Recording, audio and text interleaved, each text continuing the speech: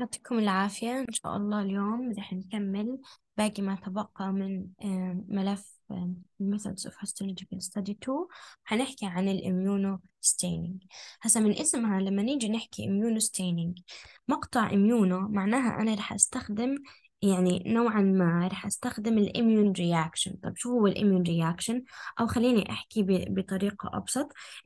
رح نستخدم الأنتيجين anti body reaction. طيب أنا مش عارف أو أنا مش فاهم شو هو الأنتيجين وشو هو الأنتي بودي طيب تعالوا نفهم. بداية ما هو الأنتيجين؟ أوكي. الأنتيجين هو عبارة عن إيش؟ هو عبارة عن بروتين that trigger هو عبارة عن بروتين بحفز ال immune response okay to produce أو ال immune خلينا نحكي ال immune system عشان تكون شو اسمه؟ أحسن. ال immune system to produce ال antibodies okay برضه هيمشي.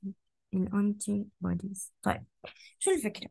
الفكرة إنه دخل دخل عشان وخلينا نحط قبل ما يدخل خلينا نحط كلمة an antibody قبل ما نحكي الفكرة أو نشرح الموضوع ببساطة وبعدين نشوف شو اللي بيصير.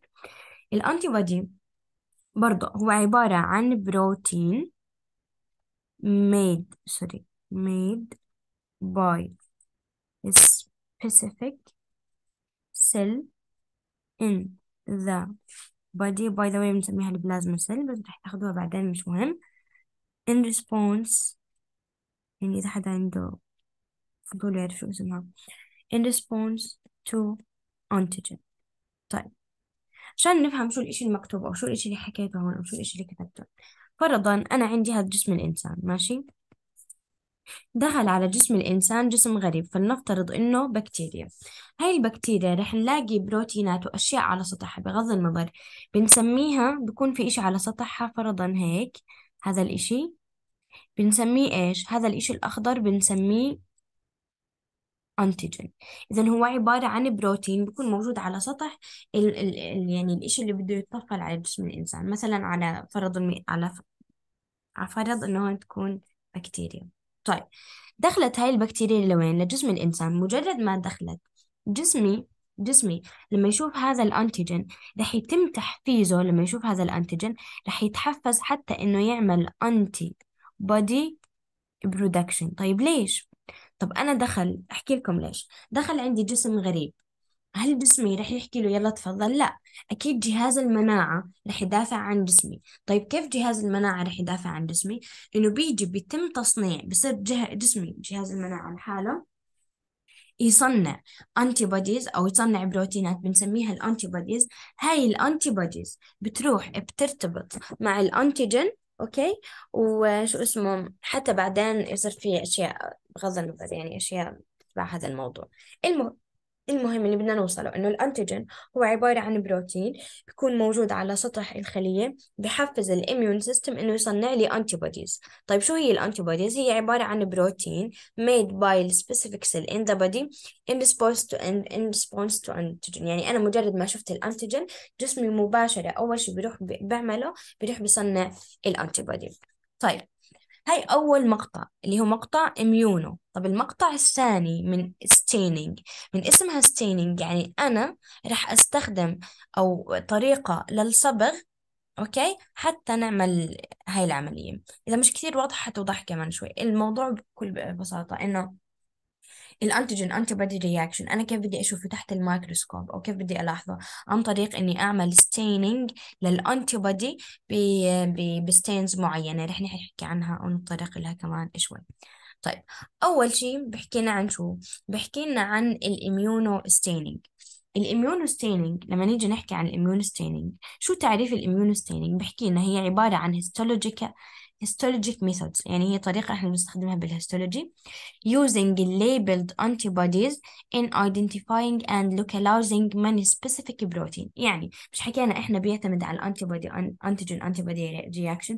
وحتى نقدر نشوف هذا ال reaction أو هذا التفاعل تحت الميكروسكوب لازم إنه نيجي نصبغ أو نعمل labeling نوضح نبين إنه والله هذا هو ال antibody اللي إحنا قاعدين بندور عليه. تمام؟ فبنعمل labeling أو بنعمل staining لل antibody ليش؟ حتى نعمل identifying and localizing many specific proteins. هاي ال specific proteins قصده فيها ال antigens حتى نقدر نحدد يعني يعني نحكي والله إنه هاي الخلية مثلا إنه هون في عندنا antigen وإذا قدرنا نحدد إنه في antigen نعرف كمان وين ال location localizing يعني نحدد مكان ال antigen اذا يعني نعرف نحكي إنه هل بيتواجد عندنا antigen أو لا وإذا بيتواجد وين مكانه. طيب by means a specific antigen بالضبط اللي هو uh, بمعنى آخر اللي هو ال antigen antibody reaction tagged with a visible label. Visible label بيكون عمين ال visible label رح نشوفه إنه بيكون على ال antibody okay؟ يعني إحنا مثلا هذا الإشي ما بيكون جوا جسم الإنسان. إحنا بنجيب بال lab okay؟ بنجيب إنه مثلا هذا الإشي اللي إحنا شاكين على سطحه أو الخلية اللي عليها antigen يعني هذا مش بس لبكتيريا ممكن تكون لخلايا إنسان. رح نشوف ببعض أنواع السرطانات إنه في خلايا بيكون عليها antigen هذا ال antigen أنا بيكون أنا بكون عارفة إنه والله المفروض ال antigen على الخلية كذا نوعه كذا تمام؟ فباجي بصنع antibody مناسب له حتى يرتبط يعني معاه. وهذا ال antibody اللي أنا بدي أحطه على الخلية لازم يكون visible label إني أحط عليه label أحط عليه صبغة بحيث هاي الصبغة تمكنني من إني أشوف هذا ال antigen antibody reaction This technique شو بيحكي؟ لنا إنه هاي العملية require an antibody against the protein that is to be detected اللي حكينا إنه يعني بهمنا إنه يكون في عندنا anti مناسب للبروتين اللي إحنا بدنا نشوفه اللي هو ال antigen بمعنى آخر. طيب هلأ لما نيجي نحكي عن ال immune staining في عندنا خلينا نحكي طريقتين لل immune staining في عندنا direct and indirect methods of immune staining. رح نحكي عنهم واحدة واحدة بالتفصيل. طيب آه اللهم صل وسلم وبارك على سيدنا محمد. هاي الصورة بس بتوضح لنا على السريع ال direct ورح أعمل هيك يعني زي أعطي فكرة على السريع عن موضوع الدايركت لما أجي أحكي direct direct immune staining يعني أنا بجيب ال antibody اللي هو هون ممثل عندنا بأي لون باللون الأزرق. ماشي؟ هذا بنعتبره antibody معلش رح أختصر الاختصار من عندي. هذا ال antibody بجيبه هو شخصيا وباجي بعمل عليه label هاي الصبغة اللون الأخضر هاي هي الصبغة. يعني بمعنى آخر أنا ال antibody نفسه هو اللي بصبغه وهو اللي بخليه يرتبط. فهيو مصبوغ وارتبط مباشرة بال antigen اللي موجود على سطح الخلية. من اسمها direct فبالتالي عملية الصبغ وعملية الارتباط الثنتين بتمن على نفس ال antibody تمام؟ طيب ال indirect لا. ال indirect بدنا نفهم إنه في عنا إيش بنسميه primary antibody وفي عنا إيش بنسميه ال secondary antibody بالنسبة لل primary ال primary اللي هو هذا اللي باللون الأزرق. هذا بنسميه ال primary antibody ال primary antibody هو ال antibody المسؤول عن الارتباط مع ال antigen okay؟ أما ال secondary antibodies هاي شايفين عندنا ثلاثة حتى مش بس واحد. ال secondary antibodies هم اللي بيكون عليهم الصبغة. يعني من اسمها indirect. فعملية الصبغ بتتم على antibody مختلف عن آه يعني ال antibody المسؤول عن الارتباط. okay بس that's عشان إنه تكون الف ال fluoroph هي أو ال fluor ال fluorophore اللي هي نوع من أنواع الصبغات اللي رح نحكي عنها كمان شوي. فإنه فيش داعي إنه نستبق الموضوع. طيب فهون هذا ال slide بحكي لنا عن ال direct immune staining لما نيجي نحكي عن ال direct immune staining بحكي لنا إن the direct method of antibody either ال monoclonal أو ال polyclonal طيب بس رح أوضح توضيح على السريع. شو المقصود بال monoclonal أو ال polyclonal ال monoclonal antibody إنه إيش؟ إنه يكون اللهم صل على محمد إنه by the way هم أنواع ال antibodies okay يعني هي ال types of antibodies ممكن تكون monoclonal أو polyclonal ال monoclonal يعني هذا ال antibody بيرتبط فقط مع one antigen يعني مع only type of antigen ال monoclonal إذا ال monoclonal إنه ال type of antibody that bind to only one type of antigen بيرتبط على نوع واحد نوع واحد فقط من ال antigen تمام؟ أما ال polyclonal اللي هي type of antibody that bind to, to several types of antigen يعني بيرتبط على أكثر من نوع من أنواع ال antigens تمام؟ طيب طبعا هذا ال antibody إحنا بنيجي بنعمل له tagged with an appropriate label يعني بنحط عليه label بنحط عليه صبغة معينة حتى إني أقدر أشوفه وأحدده تحت الميكروسكوب. بحكي لنا ال labeled anti binds to protein X. طيب هذا ال antibody حطينا عليه label هيو باللون ال pink بعدين بيجي بيرتبط على ال protein X اللي هو فعليا ال tissue antigen أو ال antigen لما يجي يرتبط على ال protein X the section is then washed to remove ال unbounded antibody. يعني إحنا بنجيب ال antibody okay؟ نعمل له labeling حياته. هذا ال antibody عملنا له labeling بعدين بنروح بنخليه يرتبط مع ال antigen بعد ما صار عملية الارتباط بين ال antigen وال antibody أو خلينا نسميه ال labeled antigen ال labeled sorry antibody مع ال antigen تمام؟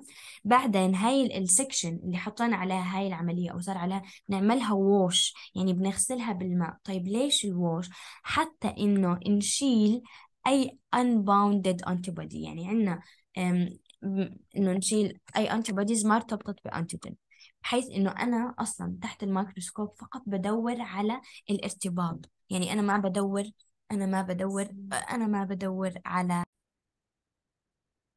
okay. إنه أنا تحت الميكروسكوب بدور على الارتباط بين ال antigen وال antibody ما بدور على ال antibody أو ال labeled antibody لحالها okay؟ طيب. اللهم صل على محمد. okay. هلأ بحكي لنا شو أهمية أو شو هي يعني خلينا نحكي أو شو فوائد أو شو خلينا نحكي ال advantages لما نيجي نعمل نعمل direct immunostaining أول وحدة fast to get the result. إنه حصولنا على النتائج بيكون أسرع. ليش؟ لأنه منطقيا ما في عندنا خطوات. كل الخطوات هم ثلاث. إني أعمل label لل antibody بعدين أروح أخليه يرتبط مع ال antigen وآخر شيء إني أعمل wash بس that's it فعشان إنه ما فيه steps كثيرة ما فيه خطوات كثيرة بيكون ال results أسرع لأنه أصلا عملية تحضيره أسرع. الإشي الثاني ال label ال labeling intensity is low ال labeling intensity is low إنه يعني مع لما خلينا نحكي دقة الصبغ أو إنه الصبغة ما رح تكون كثير واضحة okay؟ فعشان هيك عشان هيك بأكثر بأغلب المرات إحنا ما بنلجأ لل direct immune staining وإنما بنلجأ للطريقة الثانية اللي هي ال indirect الإشي الثالث إنه used for ال kidney or skin biopsies. هاي إحنا حكينا أو حكيت بالبداية إنه متى بنستخدمها لأنها سريعة. في أنواع سرطانات بتكون بت بتصير بال kidney وبتصير بال skin هاي السرطانات بيميزها وجود antigens على سطح الخلية اللي فيها السرطان. مثلا هاي عندنا خلينا نحكي skin cell cancer skin cell تمام. okay بنلاقي على سطحها الخارجي بنلاقي على سطحها الخارجي anti... antigen معين okay؟ فهذا ال antigen حتى نقدر نحدده. وإحنا عارفين إنه والله ال antigen اللي بيكون على ال skin حالة السرطان مثلا واحد اثنين ثلاث فبنصنع okay sorry بنصنع آه antibody بيكون مناسب إلها تمام؟ بس ذات يعني أنا بحالة سرطانات ال kidney سرطانات ال skin ال biopsies باجي بستخدم ال direct immune staining عشان السرعة تمام؟ لأنها أسرع. okay. الطريقة الثانية من ال immune staining حكينا عنها direct و indirect الآن حنحكي عن ال indirect immunostaining بحكينا إنه ال indirect immunostaining involve sequential application of two antibodies and additional washing steps يعني بمعنى آخر إنه antibodies تمام؟ رح يكون عندنا أكثر okay يعني بستخدم جسمين مضادات تمام؟ sequential uh, application of two antibodies وبيكون إنه أنا بطبقهم بالترتيب. أنا بجيب two antibodies تمام؟ وهذول ال two antibodies يعني بستخدمهم على العينة بالترتيب. And additional washing steps. ولأنه أنا في عندي خطوات أكثر وفي عندي عدد antibodies أكثر فبالتالي رح أحتاج okay؟ رح أحتاج لخطوات تحضير زيادة من ضمنها انه يكون في عندنا additional washing step يعني okay مثلا مثلا على سبيل المثال أنا جبت العينة يعني هون أتمنى إنه يكون في صورة هاي الصورة okay؟ أنا جبت العينة هذا عندي ال primary antibody صح؟ صح. ال primary antibody مجرد ما ارتبط مع ال antigen باجي بعمل wash تمام؟ برجع بربط ال secondary وبعد ما يرتبط ال secondary برضه برجع بعمل wash يعني هي إنه أول إشي إنه أنا بربط أكثر من antibody وبيكونوا ب sequential بترتيب معين إنه ال primary ومن ثم ال secondary وبحتاج لعمليات أو خلينا نحكي مراحل للغسل إضافية. طيب بحكي لنا هون إنه إيش؟ بيحكي لنا إنه ال primary antibody specifically binds protein X is not labeled. إذا ال primary antibody اللي حيرتبط مع ال protein X اللي هو ال antigen حيكون not labeled. يعني فقط زي ما حكينا هو مسؤول عن إنه يرتبط مسؤول عن الارتباط. The, detectable tag is conjugated to a secondary. ال detectable tag اللي هي labeling يعني الأنا العلامة اللي راح أحطها أو الصبغة اللي راح أحطها. بحطها على مين؟ بحطها على ال secondary antibody made in آه وآخر يعني زي ما اتفقنا ال primary مسؤول عن الارتباط وال secondary مسؤول عن ال labeling ومسؤول عن إنه نحط عليه الصبغة ويبين هو اللي تحت ال light microscope. آخر شيء بحكي لنا يعني هيك ملاحظة على السريع. إنه سواء بنحكي عن ال primary أو بنحكي عن ال secondary فال both of them is in species different foreign from that which made the primary antibody. يعني بمعنى آخر يعني هاي الجملة تابعة لل secondary.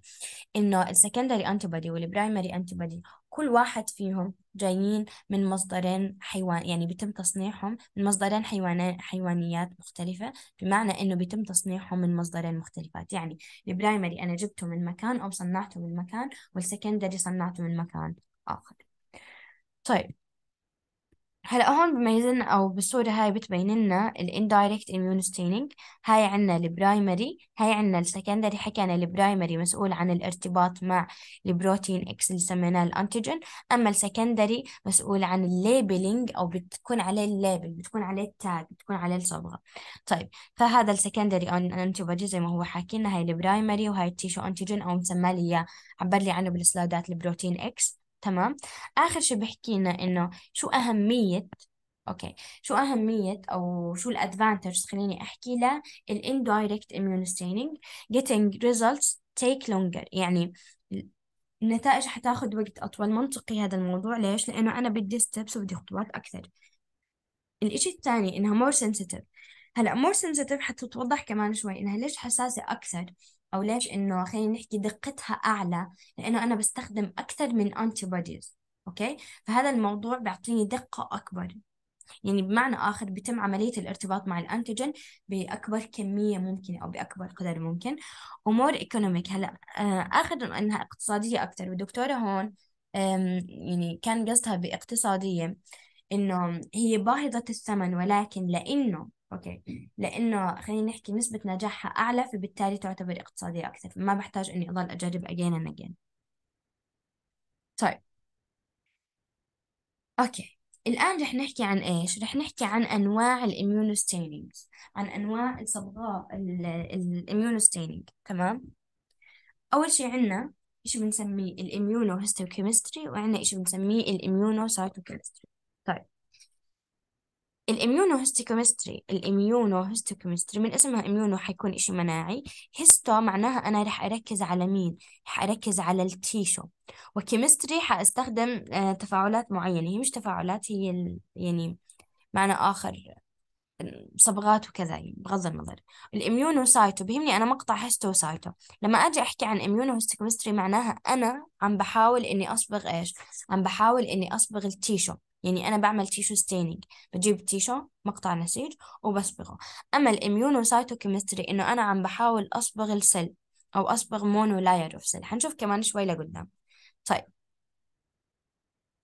هون بحكي لنا شو الفرق هياته هون بيوضح لنا ما الفرق بين ال immunohistochemistry وال immunocytochemistry one of the most important differences between ال immunohistochemistry and ال immunocytochemistry is is the source of sample. اذا الإشي اللي إحنا بنركز عليه أو خلينا نحكي العلامة الفارقة بيناتهم هي العينة مصدر العينة. في حالة ال immunohistochemistry ال source هو مين؟ هو ال tissue. section مقطع من النسيج أما ال immunocytochemistry يا إما بستخدم single layer of cell يعني أنا زي اللي بتتذكروا لما إجينا نعمل culturing حكينا إنه أنا والله بجيب plate وبكثر فيه الخلايا ل monolayer فأنا بجيب monolayer طبقة واحدة من مجموعة من الخلايا تمام؟ أو أول إشي الثاني هذا أول موضوع.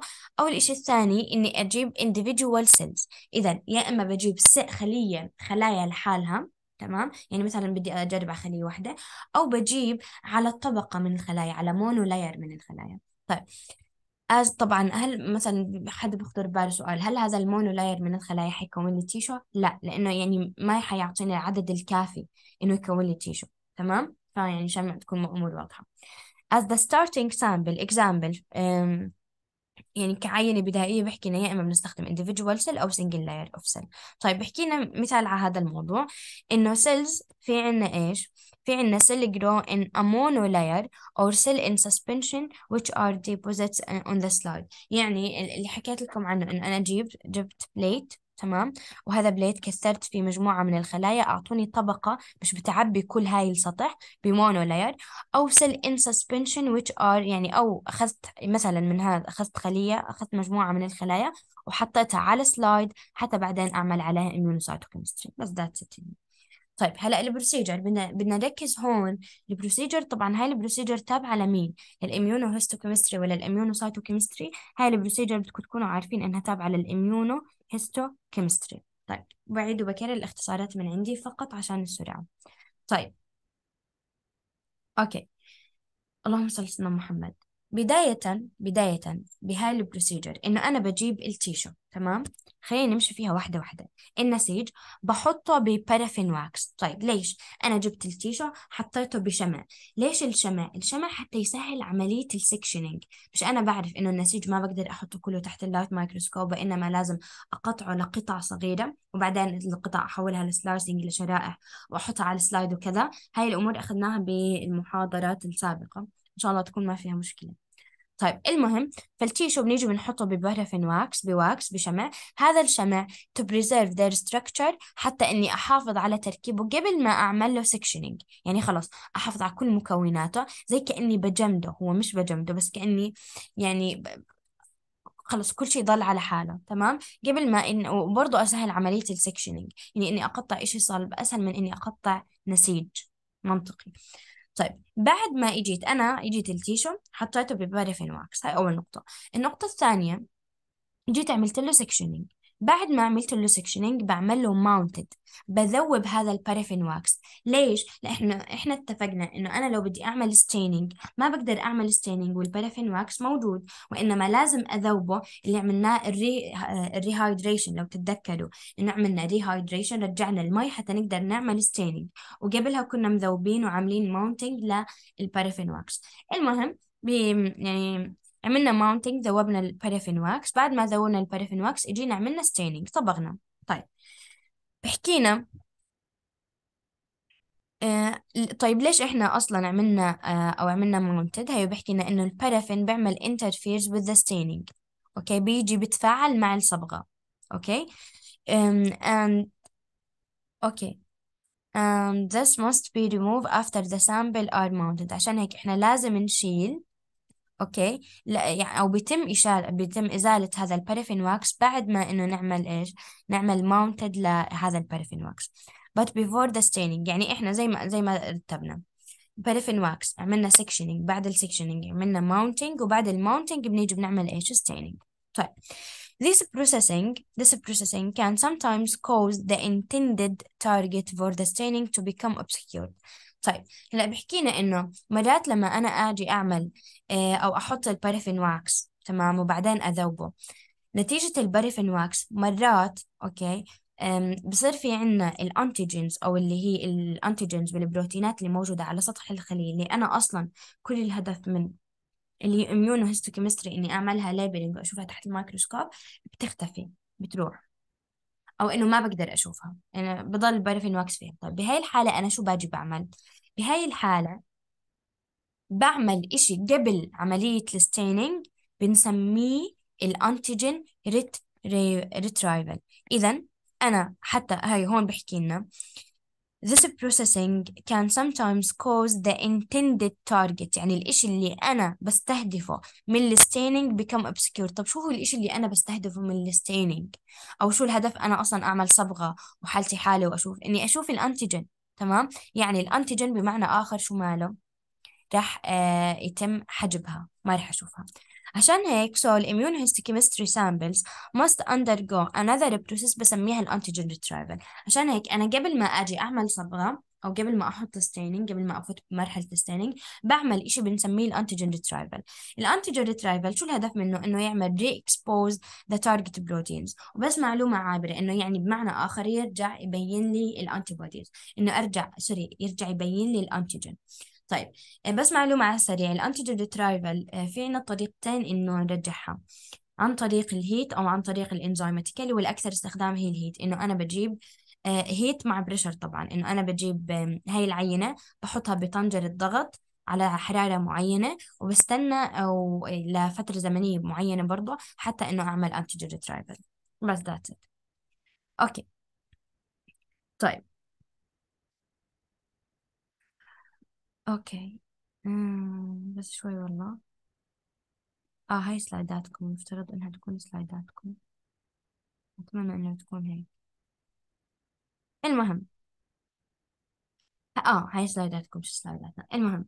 أم، هلا بدنا نحكي عن complex اسمه avidin biotin complex نستخدمه بال immunohistochemistry من اسمه بنستخدمه بال immunohistochemistry معناها أكيد رح يتم استخدامه لل tissues مش لل cells هاي منطقية. اذا هاي أول نقطة. إنه بحكي لنا هذا ال complex اسمه avidin biotin complex هذا ال complex أنا بستخدمه لل tissues. بحكي لنا إنه هو عبارة عن immunohistochemical staining.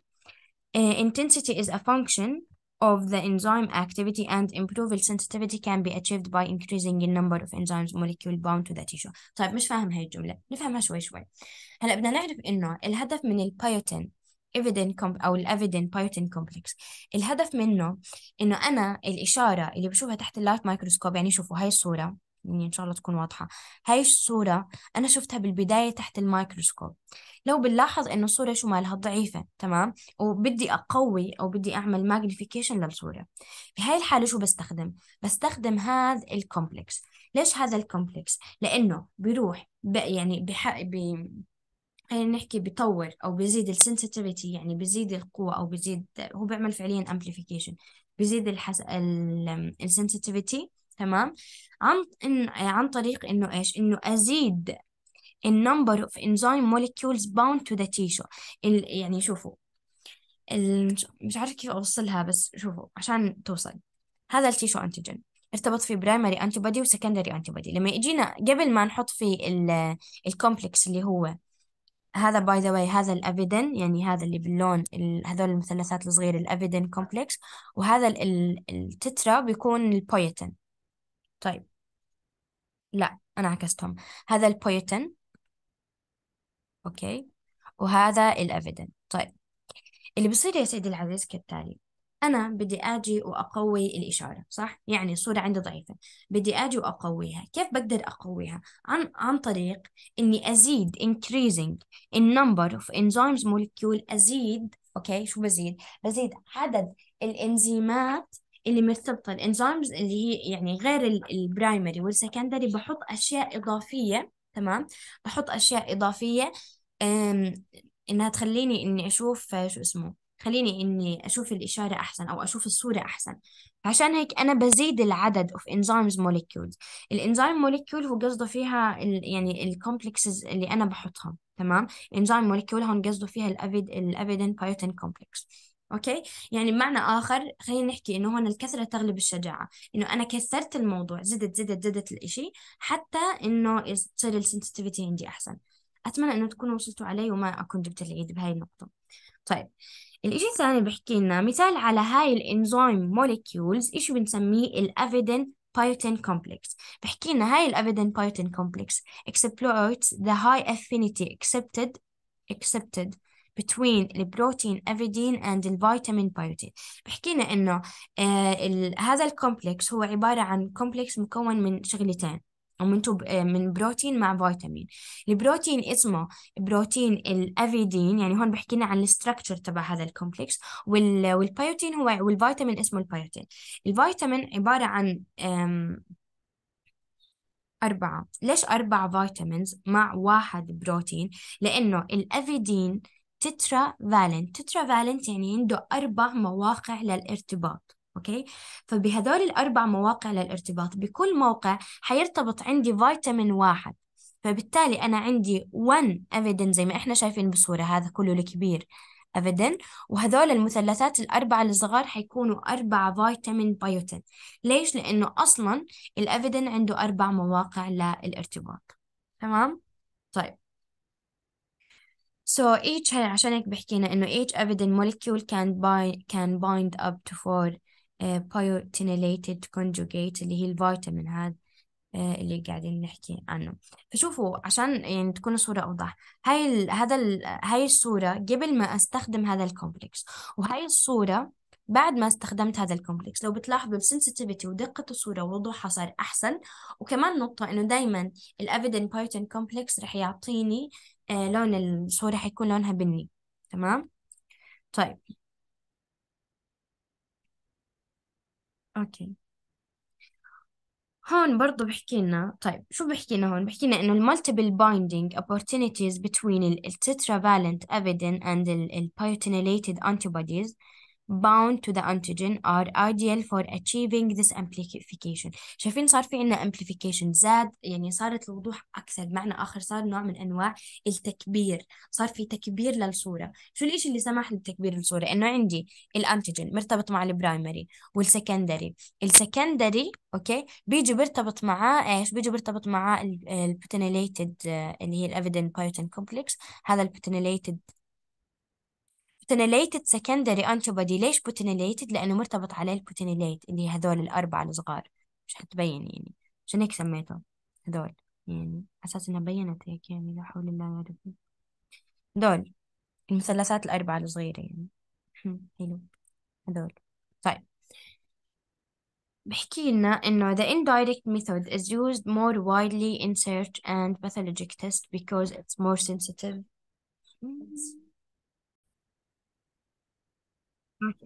حكينا إنه ال indirect method هي أحسن إني أستخدمها بال research لأنها more sensitive حساسة أكثر.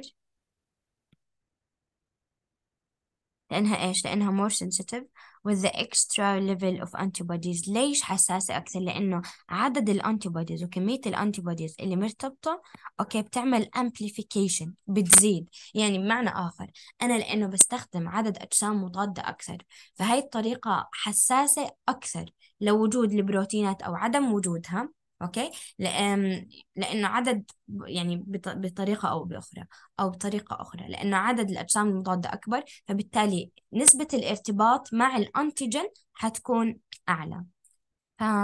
بس that's it إن شاء الله تكون الأمور لحد هون لحد هون واضحة. إذا في أي مشكلة بأي نقطة آه، يعني أكيد اسألوني. طيب آخر شيء حنحكي عنه أو لا مش آخر شيء بعد آخر شيء يعني. اللي هو إيش بنسميه؟ ال immunofluorescence microscopy. هلا من اسمه ال immunofluorescence microscopy. هذا الميكروسكوب حكينا عنه هو نوع من أنواع ال light microscope. واللي بيميزه عن باقي أنواع ال light microscope إنه بيستخدم نوع خاص من الضوء مش ال ordinary light وإنما بيستخدم ال UV light أو ال ultraviolet light هذا ال immunofluorescence microscope أوكي. بحكي لنا انه واتفقنا أصلا سابقا إنه بستخدم فيه صبغة خاصة اسمها immunofluorescent.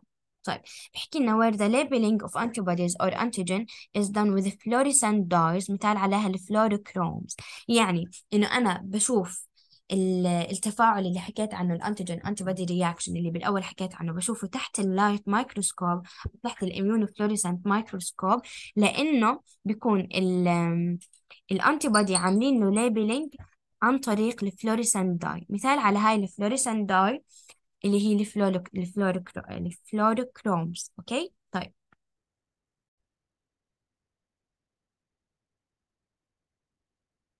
أوكي.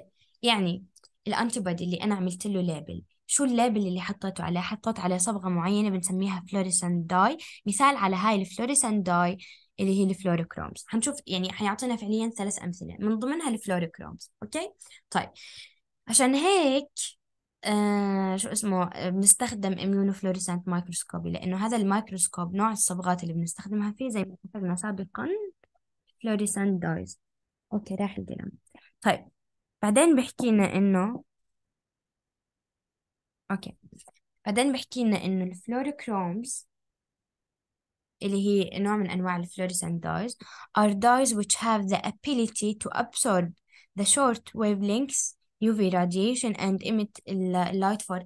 هذا الإشي سألته عنه كثير لما شرحنا أو لما شرحت ال immunofluorescent microscope وإنه أنا ليش بستخدم ال UV light طيب شوفوا الصبغات اللي أنا بستخدمها بهذا الميكروسكوب يعني فيها خاصية مميزة إنها بتمتص ال UV light مش أنا بسلط عليها UV light بتمتصه بطول موجي معين. إذا ال UV light بسقط عليها بحفزها على إنها تمتصه تمام؟ بيجي على هاي الصبغة بسقط عليها بيتم تحفيزها إنه والله يا صبغة امتصيني. طيب ليش؟ لأنه نتيجة الامتصاص لل UV light رح تعكس هاي الصبغة تمام؟ رح تعكس خليني أحكي. طول موجي آخر ما هي رح تمتص ال UV light بطول موجي معين لأنه إحنا عارفين إنه أي ضوء له طول موجي. طيب لما تمتص هذا الطول الموجي المعين رح تعكس ضوء ثاني بطول أو رح تعكس طول موجي آخر. هذا الطول الموجي بيكون أطول أوكي؟ فعشان هيك بيكون visible بنشوفه. يعني بحكي لنا هو فعليا بيكون هذا الميكروسكوب موصل مع كمبيوتر طيب أو موصل مع جهاز حاسوب. بنسلط على العينة UV light رح تمتص الصبغة. الصبغة رح تعكس longer wavelengths أوكي؟ رح تعكس طول موجي أعلى. هذا الطول الموجي بن بن بيتم ترجمته جوا الكمبيوتر لهاي الألوان الموجودة. طبعا هاي الألوان بالنسبة للصبغات تمام؟ أو خلينا نعتبره بيتم ترجمته لضوء مرئي. هذا الضوء المرئي بناء على لون الصبغة اللي أنا استخدمتها okay طيب okay.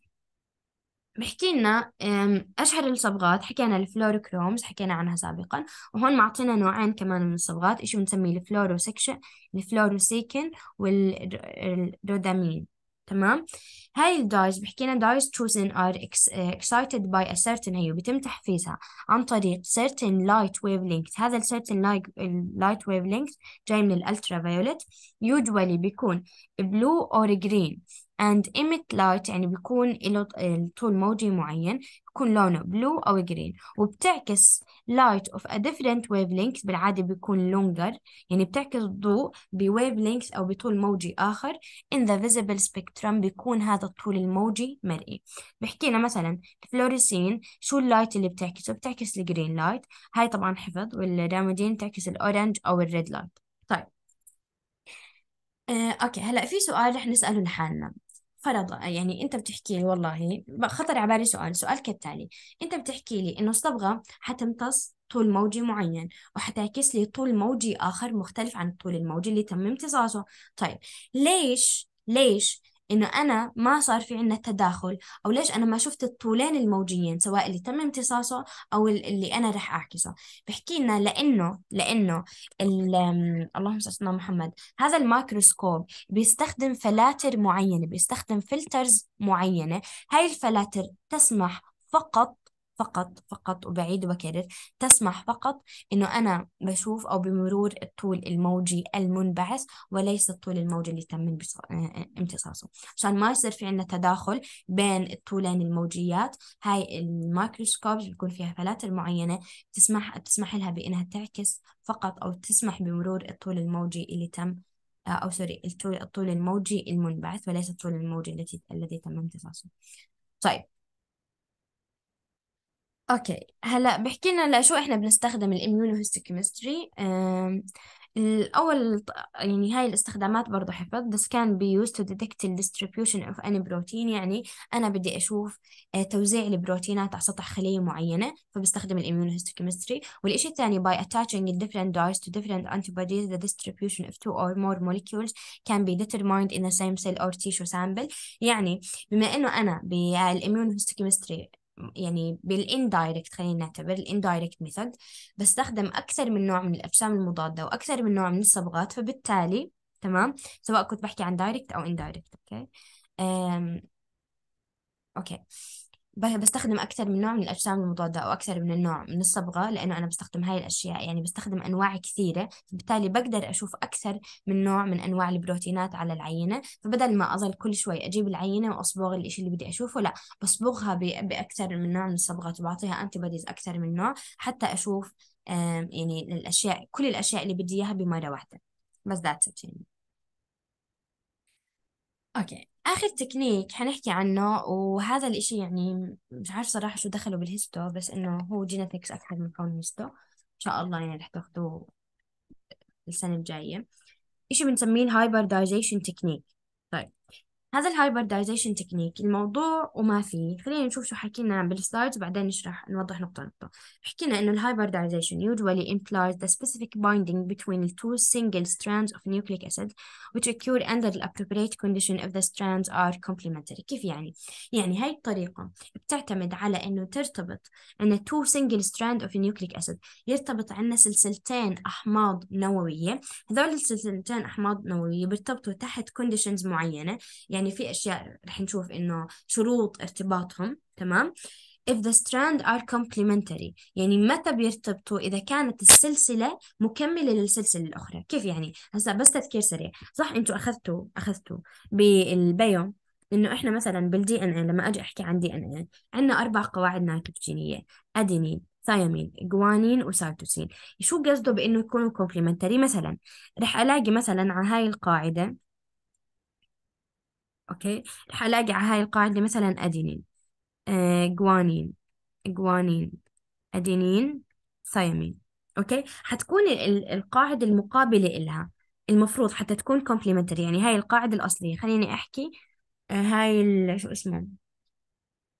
أوكي هاي القاعدة الأصلية جاي من ال five prime لل three prime نسيت شو بدي اسمها هاي ال complementary هاي حتكون المكملة اللي حتكون من ال three prime لل five prime لأنه إحنا عارفين إنه دايما DNA بيكونوا complementary and antiparallel to each other.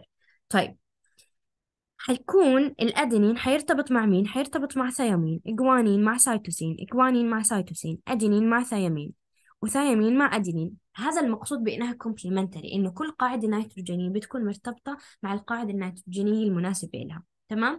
اذا ال hybridization العملية وما فيها إنه أنا بجيب two single stranded من ال DNA أو من ال nucleic acids بغض النظر دي ان اي أو ار ان اي تمام؟ أنا هون حكيت عن DNA لأنه بحكي عن انسانين بس طرحت مثال. هذول ال two strands أو two single strands حيكونوا complementary to each other يعني بس بيكونوا مكملين لبعضهم. طيب بحكي لنا هون إنه ال hybridization at uh, ال hybridization at stringent. طيب شو يعني at stringent يعني uh, at string, stringent conditions. يعني هاي العملية ال- أو هاي التجربة ظروفها بتكون ظروف قاسية وصعبة ودقيقة تمام؟ فيعني مش سهلة. أوكي؟ عشان هيك رح نشوف كمان شوي إنه مش ال ال مش أي حد بيقدر يعملها وإنما فقط ال specialist الناس المتخصصين. طيب بحكينا هاي العملية allow the specific identification of sequence in gene or RNA يعني إنه بنجي تسمح لنا بإنه نعرف ترتيب أو خلينا نحكي ال sequence تبع الجين أو ال RNA جوا الخلية اللي أنا بدي أدرسها. كيف؟ عن طريق إني بجيب إشي بنسميه ال probes يعني أنا دخلت هاي الخلية الأصلية ماشي؟ أو هاي الإشي اللي أنا بدي هذا الجين اللي أنا بدي أعرف ترتيبه فرضا هي جاي من ال five prime لل three prime بدخل على الخلية تبعته اللي موجود فيه هذا الجين بدخل إشي بنسميه probe ال probe هذا بيكون عبارة عن complementary أو single strand complementary DNA وأنا بكون عارف شو هي القواعد النيتروجينية اللي فيه.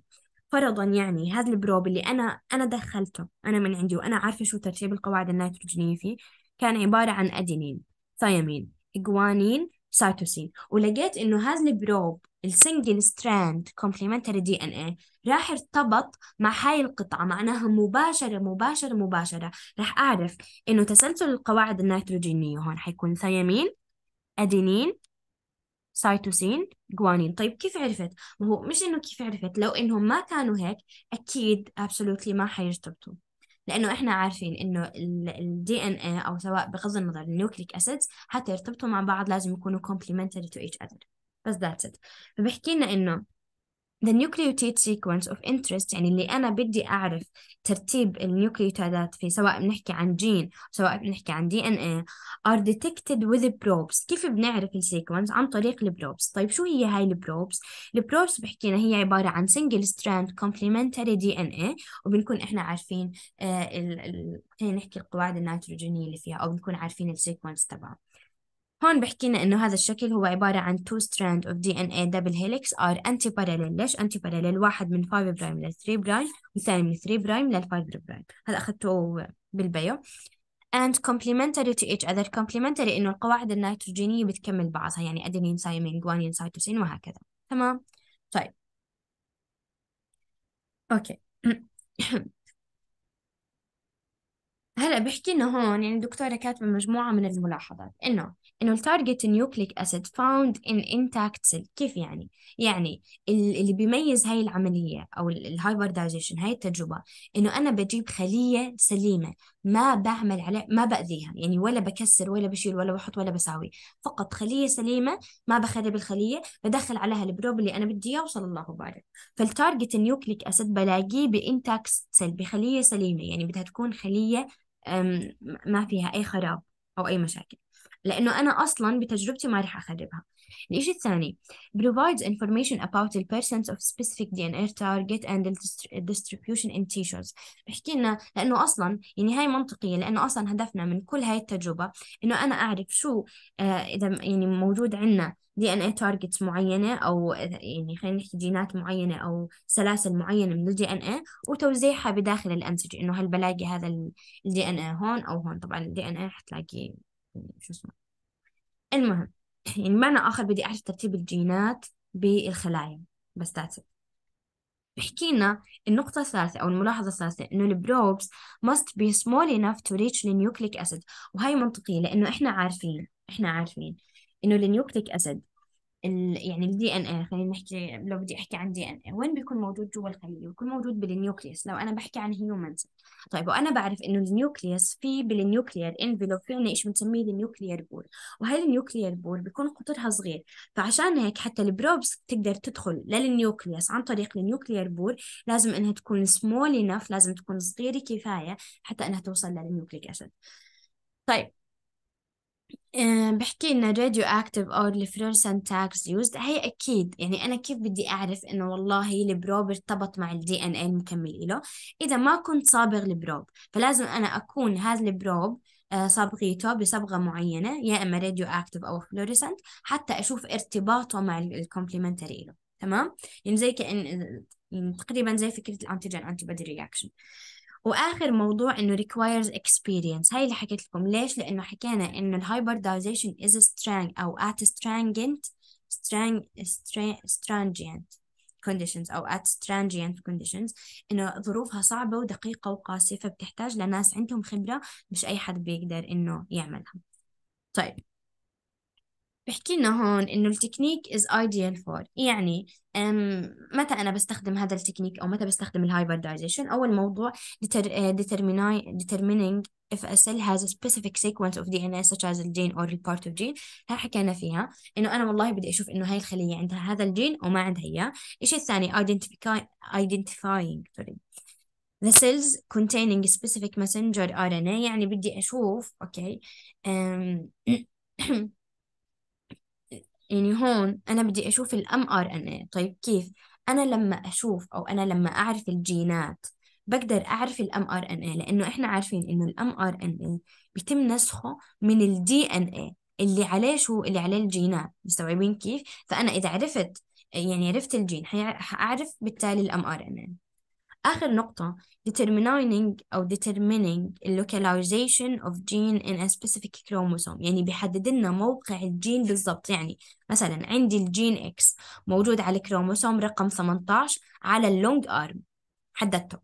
فبالتالي أنا بحدد الموقع يعني الموقع الحقيقي لكل جين على الكروموسوم حكينا ال DNA and the RNA of the cell must be initially denatured by heat or another agent to become completely single stranded. كيف يعني؟ يعني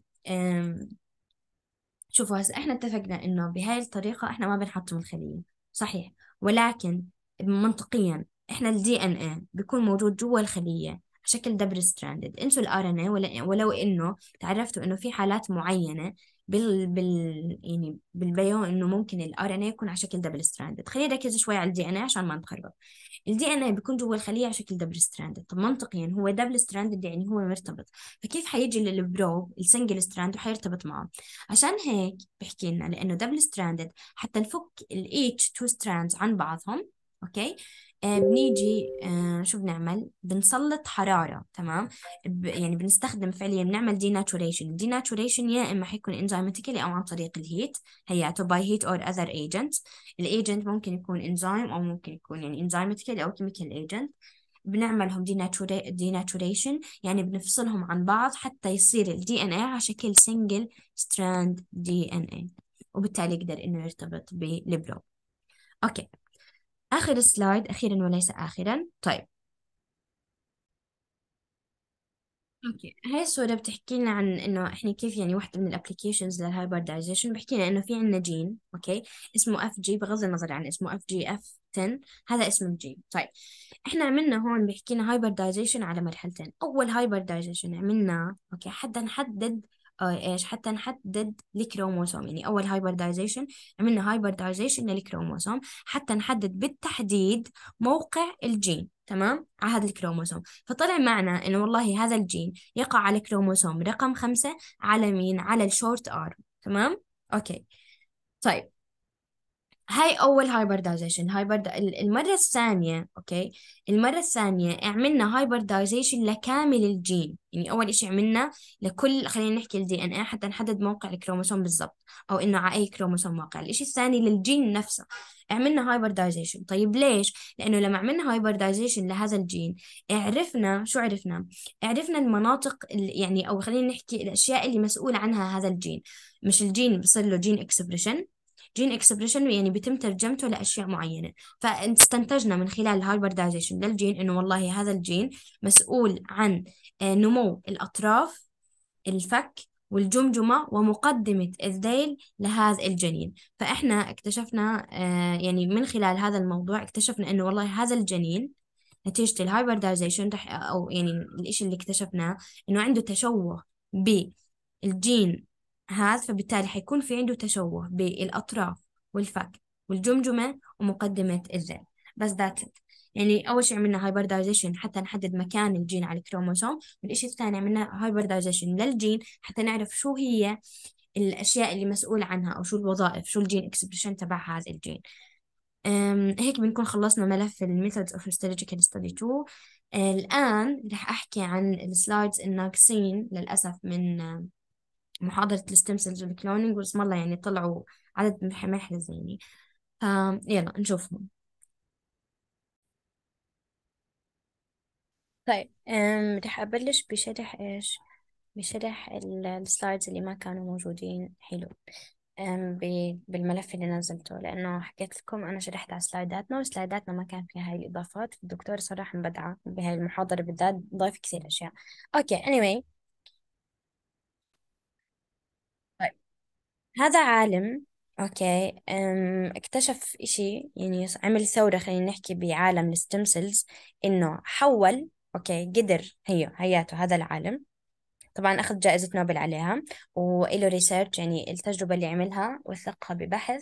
إن شاء الله راح أحط لكم ال link يا إما بال comment ات أو بال description إذا في حدا حابب يطلع عليه لأنه الموضوع صراحة ممتع. المهم هذا العالم يامانكا عالم هو عالم شو اكتشف؟ اكتشف إنه أنا بقدر أحول ال mature cells يعني الخلايا اللي تمايزت أصلا أو ال differentiated cells بقدر إني أرجعها ل pluripotent يعني أرجعها ل stem cells بمعنى آخر. اذا الخلايا ال differentiated بقدر أرجعها لل undifferentiated يعني صار آه، إحنا كنا عارفين إنه والله ال undifferentiated بتتحول ل differentiated بس إنه يصير العكس. مين اللي اكتشف هذا الموضوع؟ هذا العالم اللي اسمه يامانكا واستحق جائزة نوبل على الموضوع كأنه أخذها بال 2011 صراحة مش متأكدة مش متأكدة من التاريخ بس إنه لأنه يعني لسه الموضوع مش كثير قديم نوعا ما. طيب الموضوع ما في طبعا دكتورة مش كثير موضحة هاي ال slide بس يعني هو اكتشف إنه أنا بقدر أرجعها okay يعني أنا بقدر أجيب خلية عادية متمايزة وأرجعها ل pluripotent stem ولكن لازم أحط إيش؟ لازم أحط factors معينين سموها على اسمه أصلا سموها Yamanaka factors هم four factors حنشوفهم. بال... بالجدول الدكتور حاطط لكم خمسة ولكن بالبحث أصلا كتبوا إنه العامل الخامس يعني طلع تأثيره ما له دخل okay يعني هو تأثيره موجود ولكن في عامل ثاني بيخفي تأثيره فبالتالي بالمحصله يعني ما بدنا إياه. Anyway هلا كيف بدنا نحول؟ كيف بدنا نرجع أو نعمل generation لل pluripotent stem cells إنه إحنا نحول من somatic cell من خلية differentiated لل pluripotent بحكي لنا عنها طريقتين. الطريقة الأولى يا إما بجيب ال somatic cell خلية جسمية وبجيب ال oocytes يعني بجيب بويضة. تمام؟ هاي البويضة بشيل منها بشيل منها ال nucleus وبحط ال nucleus تبعت ال somatic cell تمام؟ وبعدين بعطوني ال pluripotent stem cell أو الطريقة الأخرى إني بجيب somatic cell بخليها تعمل fusion مع ال ES ال ES اختصار ل embryonic stem cell اذا بجيبها بخليها تتحد مع ال embryonic stem cell حتى تعطيني ال pluripotent stem cell وحكينا حتى هذا الموضوع يزبط ويصير لازم يكون في عندنا factors معينين. لأنه حنشوف إنه ممكن مثلا هو كان خايف إنه آه، أول شيء الخلية هاي تتحول مثلا لخلية سرطانية. فعليا أول تجربة عملها تحولت لخلية سرطانية. يعني إذا حدا حابب يقرأ البحث ويشوف أكثر. Anyway اذا هو جاب شغلتين يا إما جاب somatic cell أخذ منها ال nucleus وجاب ال oocyte شال منها ال nucleus ودمج ال nucleus ال somatic مع السيتوبلازم تبع ال oocyte وحولها ل pluripotent أو عمل fusion بين somatic cell مع ال embryonic stem cell أو ال pluripotent stem cell وحتى يعطوني pluripotent stem cell طيب. هذا الجدول الدكتورة بال يعني بس رجعت آه لتفاريغكم حكيت لكم إنه مش مطلوب أو مش مطالبين فيه. بس هلأ حكينا إنه في عنا factors okay؟ مهمين حتى ان نحول الخلية ونحافظ على إنها تضل pluripotent هم فعليا مش five زي ما حكيت لكم وانما four وحتى الدكتور كمان شوي يعني بهذا المخطط okay؟ هم أربع عوامل وليس خمسة عوامل. لكن هون بالجدول رح أقرأهم على السريع okay؟ وتكونوا عارفين هذول العوامل. أول عامل بنسميه أو ال Oct 3 4 هذا أول عامل. العامل الثاني Sox Sox 2 ال c ال c-Myc. حنشوف هذا كثير ال function تبعه مهم. وال KLF 4 هذول الأهم من الأربع عوامل واللي فعليا حكوا إنه إلهم دخل وسموهم ال Yamanaka factors. تمام؟ آخر عامل ال Nanog هذا العامل فعليا بداية اكتشف إنه يعني العالم اللي عمل التجربة بالبحث تبعه اكتشف إنه له دخل. ولكن في عامل آخر رح يعمل suppression له بالتالي بمعنى آخر تأثيره يصير نقل قبل. ما له تأثير. ففعليا هم أربع عوامل وليس خمسة عوامل. آه، بما أنه الدكتورة حكيت لكم إنهم five factors فمش عارف صراحة قيدوا بحكيها طيب لأنه حتى هون بالرسمة الدكتورة حاكي عن أربع عوامل مش حاكي عن الخمسة. لأنه رح أفرجيكم رح أبعث على القناة screen من ال research إنه الآخر عامل الخامس فعليا يعني ما له دخل. المهم برضو الدكتورة يعني مش كثير موضحة المخطط هذا. المشكلة إنه المخطط هذا يعني بدكم تكونوا دارسين patho. patho final فعليا لل neoplasia. ولكن رح أحاول إني أوضح لكم كل factor شو وظيفته. بطريقة أو بأخرى.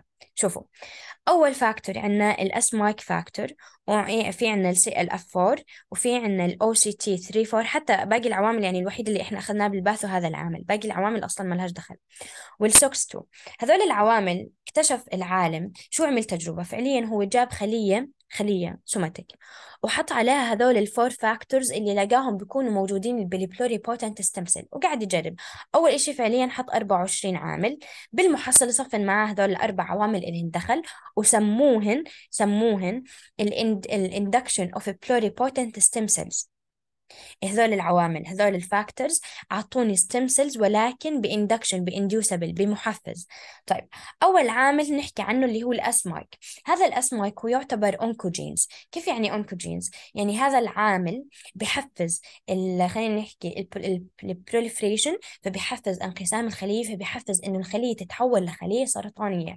ومن أشهر العوامل اللي بتسبب لي السرطان فعليا ال c-Myc. طيب لأنه بحفز ال proliferation بكميات مهولة. فبحكي لنا إنه جاب ال c-Myc. ال c-Myc عمل stop ال apoptosis ال apoptosis اللي هو الموت المبرمج للخلية حتاخذوه مش عارفة صراحة تاخذوه اخذتوه كأنه آه شو اسمه يعني إذا إذا ما خاب ظني اخذتوه بال bio. ال apoptosis اللي هو الموت المبرمج للخلية إنه في عنا عوامل معينة بتحفز هذا الموت المبرمج أو بنسميه انتحار الخلية. ففي عنا عاملين الأسماك والسي ال 4 بيمنعوا الأبوبتوسيس. الاسماي كيف بيمنع الأبوبتوسيس؟ إنه بيحفز ال proliferation sorry okay بيحفز ال proliferation أو بيحفز انقسام الخلية. okay طيب. فعشان هيك بيعمل apoptosis وبرضه الإشي الثاني عندنا ال KLF 4 هذا العامل برضه بيوقف ال apoptosis كيف بيوقف ال apoptosis هذا العامل بيروح بيعمل inhibition لل p 53 ال p 53 بدكم تكونوا عارفين بس إنه ال function تبعه إنه يعمل arrest لل cell cycle يعني يوقف الخلية يوقف شو اسمه يوقف ال cell cycle يوقف دورة حياة الخلية فبالتالي يوقف انقسامها ويحفز لي موتها المبرمج نتيجة لخطأ صار مثلا خلال إنه تضاعف ال DNA بغض النظر.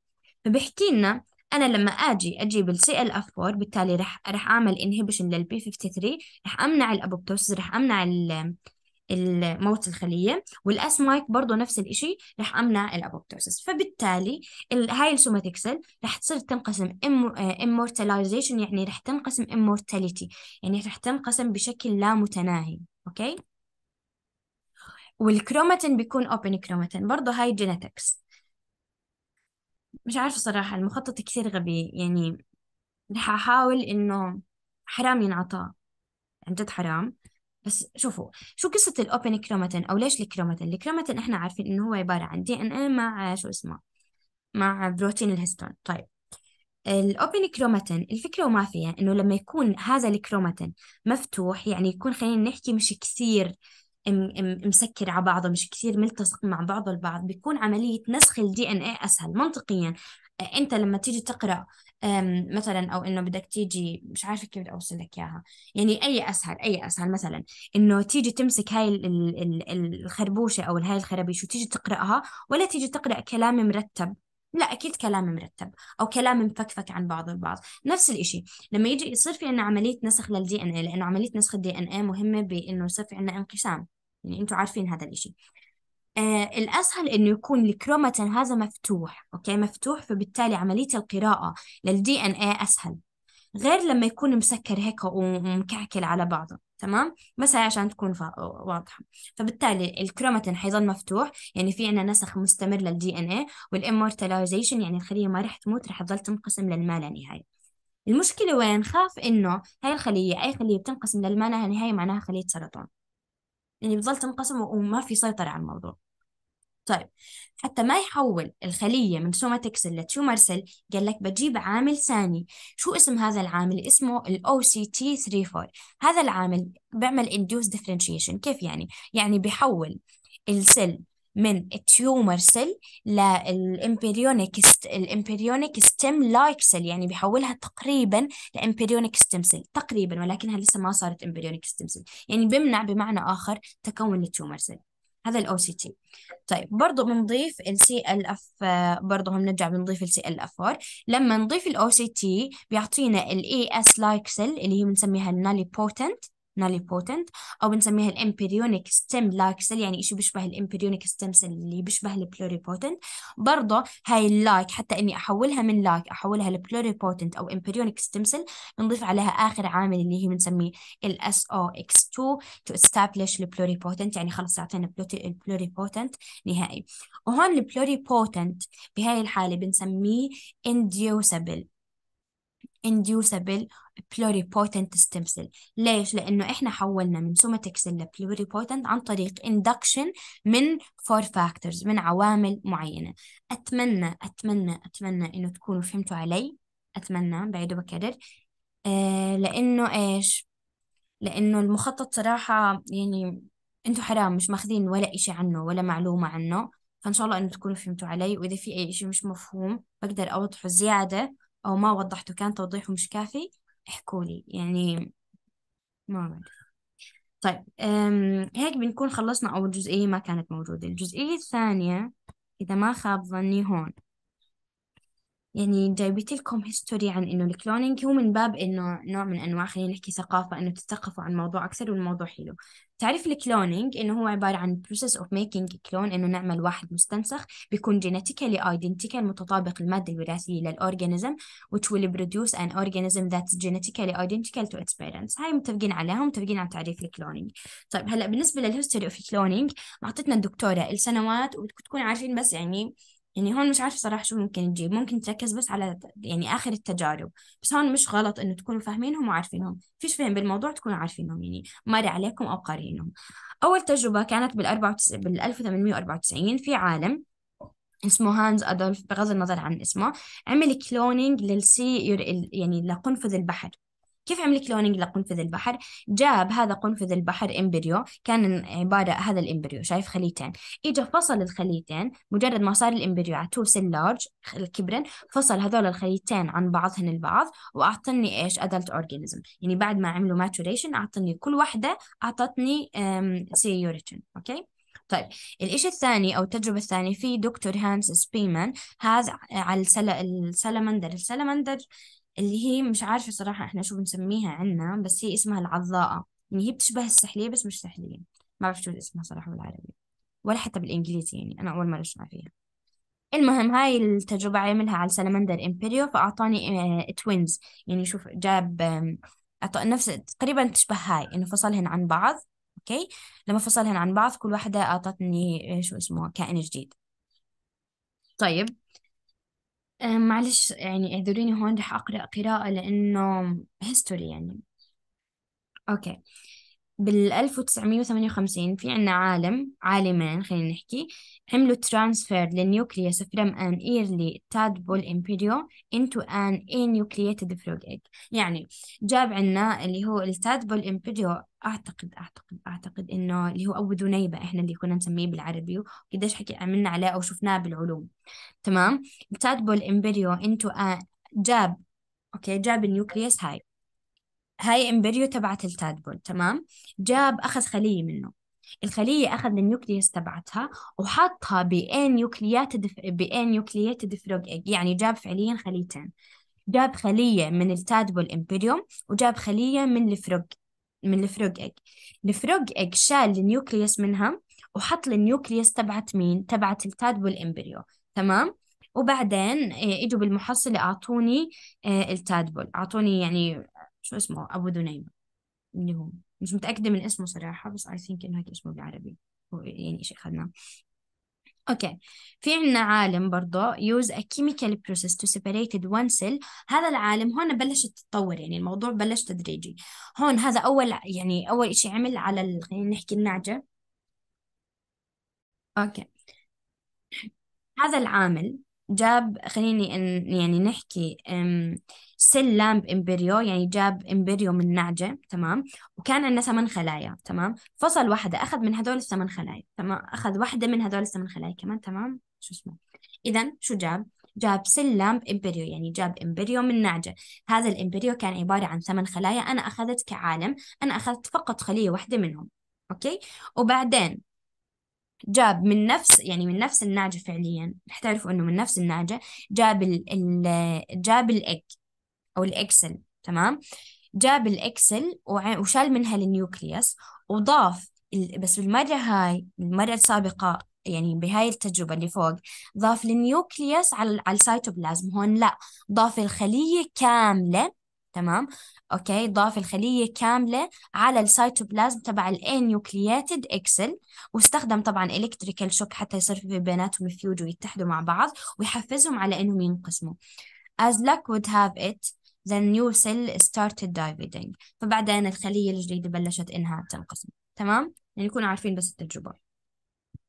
طيب بال 96 آه، في عنا برضو عالمين. بحكي لنا بس هون بدنا ننتبه لنقطة إنه كل previous cloning experiment used the donor nuclei from cells in early embryo.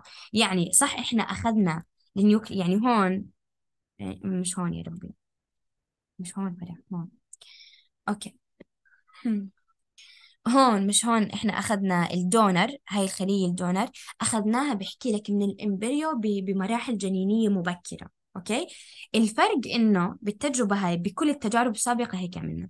الفرق إنه الفرق إنه بالتجربة هاي in this experiment the no- donor nuclei came from a slightly different source. يعني إجت من مصدر ثاني.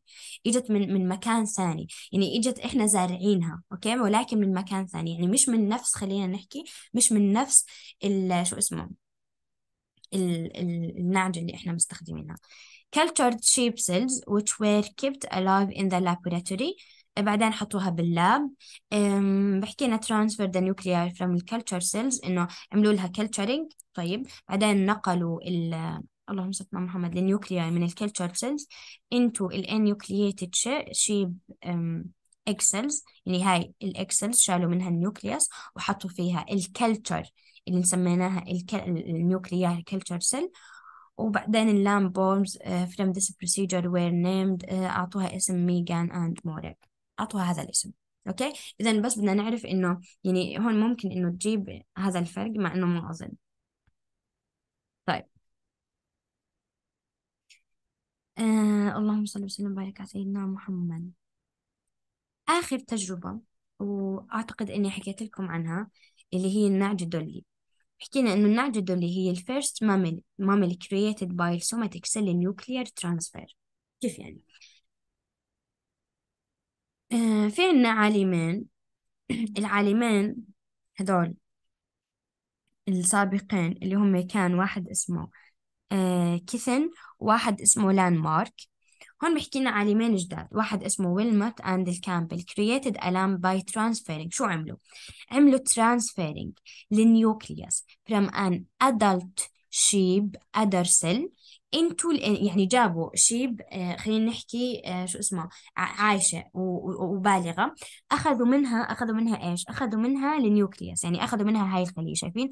هاي ال sheep البالغة أخذوا منها هاي الخلية وحطوها ب enucleated egg وإجوا حقنوها ب electrical shock بعدين بحكي لنا uh, never before had a mammal been cloned before and طيب شو الفكرة هون؟ يعني حكينا إنه طب شو فرقت هاي التجربة عن التجارب السابقة؟ أو إنه شو ال big ال big deal يعني شو المشكلة هون؟ إنه ليش أنا جبت والله adult lamb أو adult sheep الفكرة إنه لما أنا جبت هاي ال adult lamb أو ال adult sheep بحكي لنا every cells contain a complete بنعرف إنه الست فرضا يعني هي مش حتكون 2n بس لو أنا بحكي عن human حتكون complete يعني 2n set of genetic information تمام إذا الخلية اللي أنا طلعتها من ال adult تحمل يعني ال... خلينا نحكي ال complete set of genetic information بتحمل كامل المجموعات الم... يعني كيف بدي أحكيها مش عارفة كيف ألفظها حول ولا قوة إلا بالله المهم However بحكي لنا while embryonic cell are ready to activate any gene ال differentiated adult cell have shut the genes that they don't need for their specific function كيف يعني؟ يعني هون يعني اللي بده بحكي لنا مع العلم إنه ال embryonic cell مش إحنا جبنا embryonic cell خلية آه، جنينية are ready to activate any gene differentiated had shut down. يعني بحكي لنا مع العلم إنه إحنا ليش جبنا embryonic حتى إنها تن- تنقسم وتتكاثر وتقدر إنها تحفز الجينات اللي جبناها من ال adult بحكي لنا ولكن المشكلة إنه رح نلاقي بال adult تمام. آه ال adult cell حنلاقي shut down هون shut down ل specific ل genes إلها specific function هاي ال genes اللي إلها specific function تمام؟ آه بتكون عاملة reset لل embryonic state بمعنى آخر يعني مش قادرة إنها تكون لي embryo. طيب شو عمل العالمين هذول؟ حتى إنه آه تكون هاي الخلية اللي أنا جبتها هاي قادرة إنه ما فيها shut down يعني أنا أرجع أعمل activated للجينات اللي لازم تعمل development لل embryo. شو عملوا ال genetic information بيعملوا لها reset بيرجعوا بيعملوا لها reset على ال embryonic state يعني بيرجعوا بيعملوا activation لل genes اللي أنا عملت لها shut down okay فبرجعوها لحالة ال embryonic state بحكي لنا often the uh, resetting process is incomplete and the embryo fails to develop. بحكي لنا ولكن بالغ... بال... هي فعليا النعجة دولي يعني حسب معلوماتي وحسب العلم إنه هي عاشت لفترة قصيرة جدا.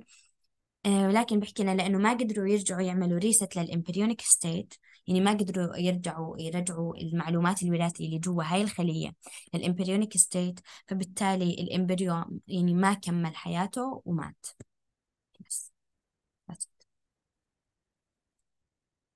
okay في كمان كم slide أعتقد إنهم وين؟ I think إنهم هون. هون. آه اللي هي برضو ال history في cloning بحكي لنا ال history في cloning في برضو عنا عالم وزملائه بغض النظر عن اسمه. آه عملوا تجربة. هاي التجربة صراحة جميلة. يعني التجربة كالتالي إنه آه في عندك طفل كان معاه مرض معين okay؟ كان مريض. فهذا ال baby اجى معاه rare genetic disorder فبدهم يعالجوه. كيف بدهم يعالجوه؟ عن طريق ال cloning اللي هي عن طريق ال stem cells خلينا نشوف شو التجربة. بحكي لنا overcoming decades of technical challenges. Mitalipov and colleagues هذا اسم العالم بغض النظر اني مش عارفة ألفظه. Were the first to use the somatic cell nuclear transfer اللي فشلت عند دولي to create a human embryo that could be used as a source of embryonic stem cell. يعني آه، استخدموا ال somatic cell ال nuclear transfer يعني آه، أخذوا من من خلية جسمية nucleus تمام وعملوا من خلالها human embryo هذا ال human embryo بيقدروا يستخدموه ك source of إيش ك source of uh, stem cells. The resulting stem cells line were specific to the patient they come from a baby with a rare genetic disease. يعني استخدموها okay ل baby اجى معاه genetic disorder. يعني جابوا بمعنى آخر جابوا عنا somatic cell تمام؟ جابوا خلية جسمية. وأخذوا منها لل nucleus وعملوا منه human embryo ليش كل هذا؟ حتى يعالجوا طفل تمام؟ طفل اجى معاه rare genetic disorder فيبدلوا ال stem cells اللي عند هذا الطفل ب stem cells سليمة من ال embryo اللي هم صنعوه. okay طيب. In this experiment researcher took a skin cell كيف يعني كيف عملوا التجربة؟ أخذوا خلية آه، خلية skin يعني خلية بشرة from the patient من المريض اللي هو ال baby اللي عنده المرض النادر and fused it with the donated و- وعملوا لها fusing هاي ال baby شايفينه؟ أخذوا منه من ال skin cell أخذوا خلية.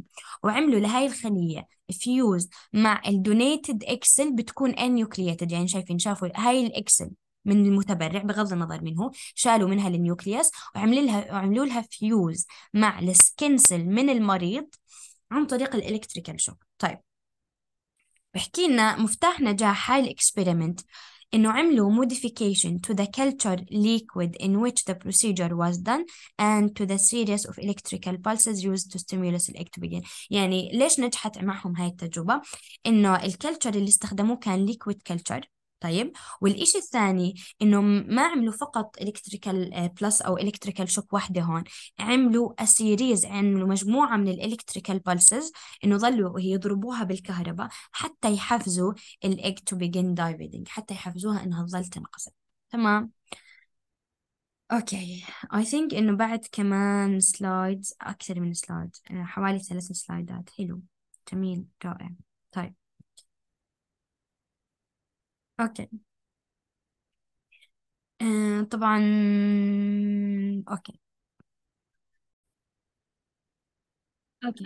آه طبعا أنا آسفة صراحة على الخربطة اللي صارت في الشرح لأنه بحس إنه هيك ممكن يصير في مشكلة بتسلسل الأفكار.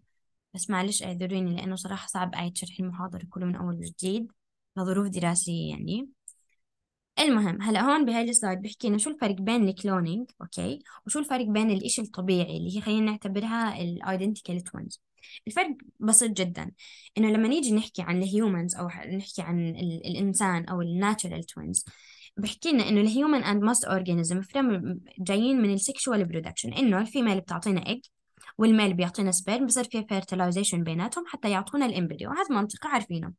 حكينا the embryos بيكون genetically structure is located in the chromosome found in the nucleus of, of every embryonic cell كيف يعني؟ يعني إنه ال- الكائن الحي ال- المادة الوراثية تبعته حتكون نصها من أب ونصها من الأم هذا الإشي كمان عارفينه عشان هيك إنه ال new organism obtain half of its genes from the mother and the other half from the father's sperm هاي برضو متفقين عليها لكن هل هذا الإشي بصير بال cloning؟ لا ليش؟ لأنه إحنا عارفين إنه ال cloning أنا بتكون المادة الوراثية كلها ال 46 كروموسوم جايين من كائن حي واحد. وهذا الإشي آه يعني بتذكر إني ضمنته لما شرحت المحاضرة. طيب في كمان اللهم صل على سيدنا محمد آه بعد ثلاث slides هدول أو ثلاث سلايدات هون بحكي لنا إنه خلال ال cloning شو اللي بيصير؟ هاي أعتقد إني شرحتها بالرسمة ولكن حتى إني أكون يعني طلعت من من الملف كامل وما في ولا slide مش مشروح during cloning يعني أنا لما بدي أجي أعمل cloning بحكي لنا مش أنا باجي بجيب إج بشيل منها ال nucleus بشيل منها ال nucleus عن طريق ال microscopic laboratory procedure عن طريق procedure من الميكروسكوب. تمام؟ وبحط مكان هاي ال nucleus اللي شلتها من ال egg بحط ال donor nucleus يعني ال nucleus أخذتها من المتبرع اللي بيحتوي على فرضا لما كنت بحكي عن إنسان 46 كروموسوم containing the unique genes of this individual. الجينات اللي أنا أصلا بدي أعملها cloning لهذا الشخص. طيب the egg which grow into an embryo بعدين الإج بتنمو يعني صارت آه هي egg ولكن ب nucleus من ال donor nucleus تمام؟ بعدين بحكي لنا إنه هاي الإج بتنمو ل embryo contains only the donor gene. عشان هيك حكينا في فرق إنه بحالة الإنسان بيحتوي على جينات الأب والأم. أما هون فقط حيحتوي على الجينات آه، المتبرع يعني اللي أخذنا منه ال nucleus The cloned organism is a near genetic copy of its soul تمام؟ parent لأب الروحي يعني تعبير منطقي. Rather than a random genetic combination of two parents. يعني هاي برضو إنه برجع بفرق لي بينهم وبين الإشي الطبيعي اللي إحنا متعودين عليه. طيب نشوف هاي الرسمة. بالله شو حكيت لنا.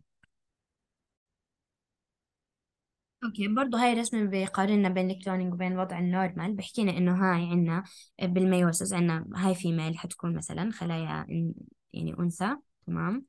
وهذا حيكون خلايا ذكر okay؟ فهون صار في عندنا meiosis أعطتنا egg cell. ال male لما يصير له meiosis حيعطينا ال sperm بصير لهم fertilization بيعطونا embryo ال fertilized embryo بيكون ال genetics آه، بيحتوي على ال combined genetics of two parents الأبين تمام؟ طيب. هاي لثلاث أيام وهاي خمسة لسبع أيام بغض النظر عن شو اسمه. أما بحالة ال cloning لا بحكينا إنه هاي بنجيب egg cell بنشيل منها ال nucleus زي ما اتفقنا. وبنجيب ال donor cell somatic donor cell بن بنشيل منها بنشيل منها ال nuclear material أو بنشيل منها ال nucleus بعدين ال egg ال enucleated egg بنعملها fusion مع ال nucleus اللي جاي من ال donor cell تمام؟ فبتصير عندنا single cell embryo فهون بالمحصلة حيعطينا cloned embryo genetically identical لمين؟ لل donor يعني لخلايا هذا الشخص. تمام؟ okay.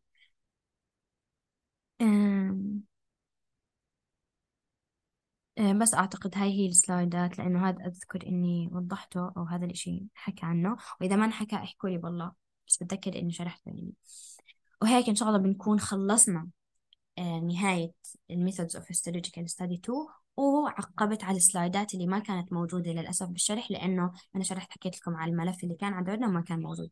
وإذا في أي مشكلة أو أي نقطة مش مفهومة اسألوني وإذا صار في أي خربطة بالموضوع كمان احكوا لي معلش لأنه مرات في أشياء عن جد ما إنه برجع بشيك على الفيديوهات إلا إنه عن جد سقطت سهوا. فسامحوني على أي غلط يعني بصير خلال الشرح أو على نقطة مش مفهومة وأكيد ارجعوا اسألوني عنها ولا تنسوني من صالح دعائكم يعطيكم العافية.